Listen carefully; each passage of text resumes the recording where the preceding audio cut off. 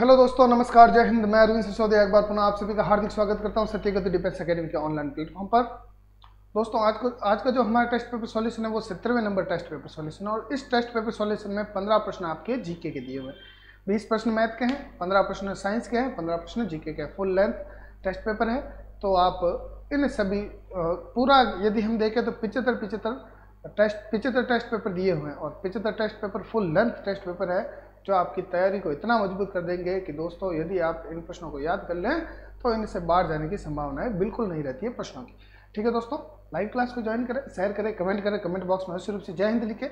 प्रश्न पढ़ेंगे, पंद्रह प्रश्न होंगे, पंद्रह प्रश्नों के चार चार विकल्प होंगे। चार विकल्पों में से हमें एक एक विकल्प सही चुनना है और माइनस मार्किंग आपके लिए मैंने रखी नहीं है, थोड़ा बहुत दयालु हूँ मैं। ठीक है, चलिए, पहला प्रश्न है आपके लिए। हॉकी से संबंधित स्टेडियम नहीं है। इनमें से कौन सा स्टेडियम है दोस्तों जो हॉकी से संबंधित नहीं? है बिरसा मुंडा, कलिंग, महिंद्रा या गुरु नानक? तो इनमें से आपके गुरु नानक स्टेडियम जो है, वो आपके हॉकी से संबंधित नहीं है। ऑप्शन नंबर डी हमारा करेक्ट चलिए। देखते हैं अगला सवाल। प्रश्न संख्या दो। बास्केटबॉल में कितने खिलाड़ी होते हैं? चार, पाँच छः सात। कमेंट करो भैया। चार होता है, पाँच होता है छः होता है या सात होता है। किसमें पूछा? है बास्केटबॉल में क्यों पूछा है? क्योंकि खिलाड़ी होते हैं उसमें। खिलाड़ी होते हैं तो कितने होते हैं? कितने होते हैं? कैसे होते हैं? कैसे खेलते हैं? तो ये राजस्थान वालों से पूछना, क्योंकि राजस्थान का राजकीय खेल बास्केटबॉल है। ऑप्शन नंबर बी करेक्ट होगा, पाँच होंगे। प्रश्न संख्या तीन, आधुनिक मीरा किसे कहा गया है? आधुनिक मीरा आपके कहा गया है महादेवी वर्मा को, सरोजनी नायडू को कहा गया है भारत कोकिला ठीक है? सुचेता कृपलानी आपके कौन थी भैया? प्रथम महिला सीएम और ये प्रथम महिला राज्यपाल और ये प्रथम महिला प्रधानमंत्री।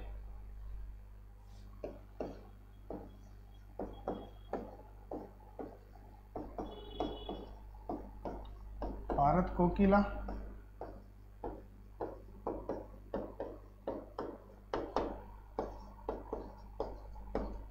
प्रथम महिला राज्यपाल, यूपी की।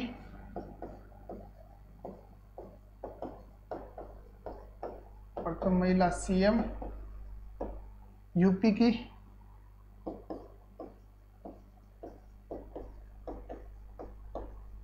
प्रथम महिला पीएम। भारत की और महादेव वर्मा आपके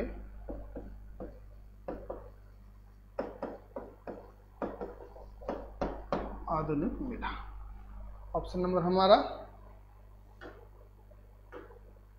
एक चलिए। प्रश्न चार अभय घाट किसका समाधि स्थल है? महात्मा गांधी का? मोरारजी देसाई का, राजीव गांधी का, शंकर दयाल शर्मा का। अभय घाट। तो राजीव गांधी का तो वीर भूमि महात्मा गांधी का राजघाट, मोरारजी देसाई का अभय घाट। ठीक है। ऑप्शन नंबर हमारा बी करेक्ट होगा। मोरारजी देसाई का जो समाधि स्थल है उसे अभय घाट के नाम से जाना जाता है। महात्मा गांधी वाला जो है, उसे राजघाट के नाम से जाना जाता है। राजीव गांधी का जो है, उसे जाना जाता है भैया आपके वीर भूमि के नाम से। प्रश्न पाँच। राष्ट्रीय सुरक्षा गार्ड, इसका इंग्लिश में अनुवाद करो पहले। राष्ट्रीय सुरक्षा गार्ड को इंग्लिश में क्या कहेंगे? तो N S G N S G commando, national security guard. ठीक है एन एस जी कमांडो, मुख्यालय कहाँ? स्थित है, नई दिल्ली, पंजाब, हरियाणा, राजस्थान। जितने भी सैनिक, सैनिकों के जितने भी मुख्यालय हैं, वो सभी आपके नई दिल्ली में। चाहे बीएसएफ का ले लें, चाहे आर्मी का ले लें, चाहे आप अर्धसैनिक बलों का ले लें, सबका आपके कहाँ पर है? नई दिल्ली में होगा। ठीक है? कमान अलग अलग हो सकती है, परंतु मुख्यालय आपका, प्रमुख मुख्यालय जो होता है, वो आपके नई दिल्ली प्रश्न संख्या अच्छा है। लाल बहादुर शास्त्री कब किससे संबंधित है भैया? बास्केटबॉल, हॉकी, क्रिकेट या फुटबॉल? कमेंट कीजिए फटाफट। लाल बहादुर शास्त्री जो कप है, वो किससे संबंधित है?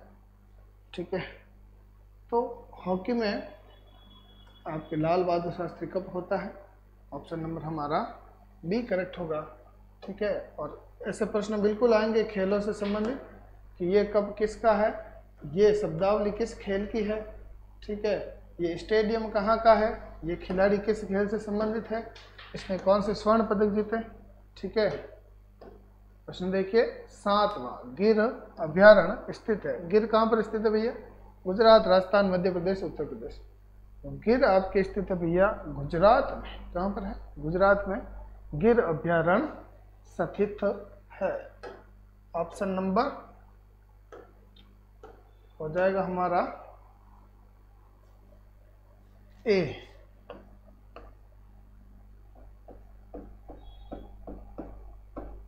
गिर अभ्यारण्य राजस्थान में प्रमुख रूप से देखा जाए तो रणथंबोर सबसे पहले आता है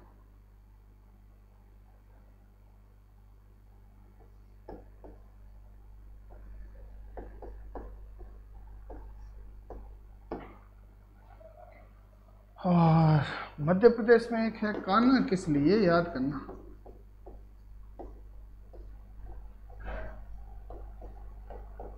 कान्हा किस लिए अभ्यारण? मध्य प्रदेश में याद कर लीजिए।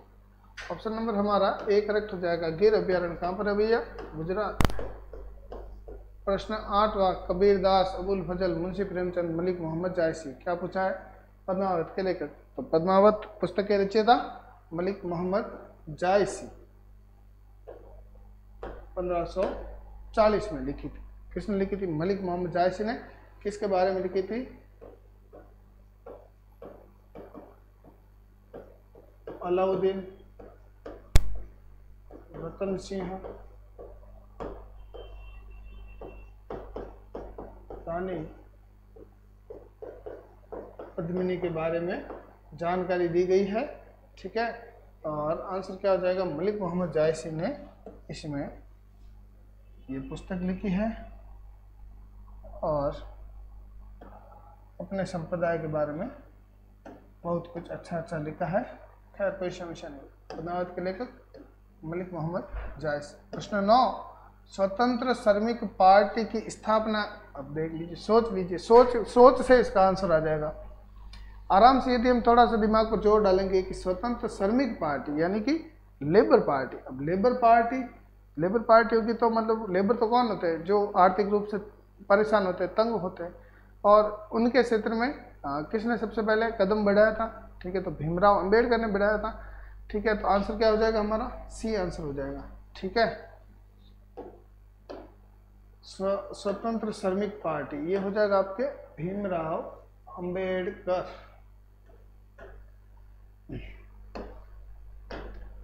देखिए भैया अगला सवाल प्रश्न संख्या दस। ग्रेट ब्रिटेन की राजधानी लंदन, ओस्लो, वाशिंगटन, डीसी या ओटावा। ओटावा कहाँ की भैया? ओटावा है आपके कनाडा की। ठीक है।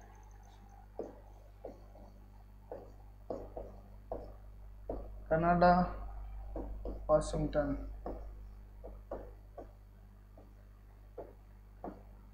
अमेरिका और लंदन आपके great Britain option number A हमारा। करेक्ट होगा। चलिए भैया। प्रश्न संख्या 11 भारत की प्रथम पनडुब्बी आहा अच्छा सवाल। INS Chakra, INS Kaveri, INS Agni, INS Prithvi. Comment कीजिए। जोरदार, फटाफट धमाकेदार कमेंट आना चाहिए आपका। भारत की प्रथम पनडुब्बी कौन सी होगी? तो भारत की प्रथम पनडुब्बी देखी जाए तो कावेरी रखा गया उसका नाम। आईएनएस कावेरी। भारत की पहली प्रथम पनडुब्बी है। देखो पनडुब्बी की आकृति भी ऐसी होती है जो मैंने बनाया ना। इस प्रकार से कुछ आकृति होती है पनडुब्बी की, जो कि आपके समुद्र में हमारे सीमा की रक्षा करती है। एक गाजी अटैक भी हुआ था। गाजी का अर्थ क्या होता है? गाजी का अर्थ, दोस्तों, होता है आपके काफिरों को मारने वाला। ठीक है? और ये उपाधि धारण किसने की थी? बाबर ने धारण की थी। कब की थी? खानवा के युद्ध के पश्चात बाबर ने सबसे पहले गाजी की उपाधि धारण की थी। उससे पहले समरकंद विजय जब हुई थी बाबर की सॉरी हाँ समरकंद विजय जब हुई थी, मात्र सौ दिनों के लिए उसने राज किया था वहाँ पर। तो उस समय उसने बादशाह की उपाधि धारण की। तो प्रथम सुल्तान जिसने बादशाह की उपाधि धारण की थी, उससे पहले सभी सुल्तान की उपाधि धारण करते थे। तो बादशाह की उपाधि बाबर ने धारण की थी सबसे पहले। गाजी की उपाधि भी बाबर ने धारण धारण की थी। ठीक है? अब देखते हैं प्रधानमंत्री नरेंद्र मोदी की माता का नाम। चलो, प्रश्न है? उत्तर कमेंट करो। ठीक है? और बाकी समरकंद पर उसने काफ़ी अभियान चलाए, पर कभी भी एक साल से ज़्यादा वो टिक नहीं पाया। उसमें कहा गया है इतिहासकारों इतिहासकारों ने लिखा है कि बाबर जो था, वो किसी भी जगह पर एक दो रमज़ान नहीं बना सका। एक साथ दो जम, दो रमज़ान नहीं बना सका, ठीक है ना? एक जगह पर दो रमज़ान नहीं बना सका। ये इतिहासकारों ने कहा है, ठीक है? तो प्रधानमंत्री नरेंद्र मोदी की माता का नाम हीरा बहन। क्या बात है भैया? हीरा बहन मोदी जी की, माता जी का नाम है। ऑप्शन नंबर ए, करेक्ट होगा। ये मोदी जी के पिताजी का नाम दामोदर दास। मोदी जी के वाइफ का नाम जसोदा बहन है। प्रश्न तेरह, महात्मा गांधी की मृत्यु कब हुई थी? तो देश आज़ाद होगा सैतालीस में। अड़तालीस में गॉड से, ठीक है, नाथुराम गॉड से 1948 में धोख दियो किने महात्मा गांधी धोख दे, हम ऊबर है, छाती माते ठोक दी, गोली। तीन, चार गोलियाँ ठोकी, जना एक वचन आया तो तो। हे राम, नारा। और वो पूछा जाता है, हे राम, किसका नारा था? महात्मा गांधी। ठीक है? तो महात्मा गांधी की मृत्यु 1948 में नाथुराम गॉडसे के द्वारा गोली मारकर हत्या कर दी गई थी। भारत का, स्वतंत्र भारत का प्रथम आतंकवादी नाथुराम गॉडसे को कहा जाता है। प्रश्न चौदह, खिलाड़ी विश्वनाथ आनंद किस खेल से संबंधित है? बहुत ही बहुत ही पूरे विश्व में प्रसिद्ध है, जैसा कि इनका नाम है, उस प्रकार से इनका काम है। विश्वनाथ आनंद पूरे विश्व में विश्व में विख्यात है इस खेल के लिए। इनके बराबर, इनके टक्कर का कोई आज तक पैदा नहीं हुआ। और ये है आपके शतरंज के खिलाड़ी। शतरंज में महारत हासिल करने वाले विश्वनाथ आनंद। ठीक है, भारत का नाम रोशन करने वाले शतरंज के खिलाड़ी कौन है भैया? विश्वनाथ आनंद है। देखिए लास्ट सवाल, वायुसेना दिवस कब मनाया जाता है? आप बता दो भैया, भारतीय वायुसेना दिवस कब मनाया जाता है? ठीक है? आठ अक्टूबर, पाँच अक्टूबर, दो अक्टूबर या नौ अक्टूबर। तो दो अक्टूबर को आपको पता है, सभी ठेके बंद रहते हैं क्योंकि महात्मा गांधी जयंती थी। आठ अक्टूबर को खुले रहते क्योंकि वायुसेना दिवस होता ठीक है? ऑप्शन नंबर ए करेक्ट होगा हमारा। ओके, ये हो गया हमारा सेशन समाप्त आज का। तो ये आपके सत्रहवें नंबर की क्लास तो ये समाप्त हुई। कल पुनः इसी समय आपसे मुलाकात करेंगे। तब तक के लिए धन्यवाद। जय हिंद और जय भारत।